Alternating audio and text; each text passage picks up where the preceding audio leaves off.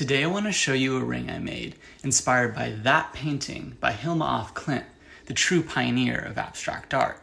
I'm especially drawn to this series of paintings titled The Largest Ten, which she painted in 1907, years before the work of Kandinsky and Mondrian. The inspiration for this ring comes from this organic form found in the seventh work in her series titled Adulthood. Then, after a few quick sketches, I began the process of carving it from a block of wax. And finally, after a quick polish, here's how that organic form translates into sterling silver.